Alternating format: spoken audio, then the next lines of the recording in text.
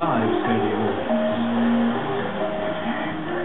We got an email this week from Motherwell fan Frank Close saying Lionel Messi was named after Lionel Richie, so why does no one pronounce his name Lionel?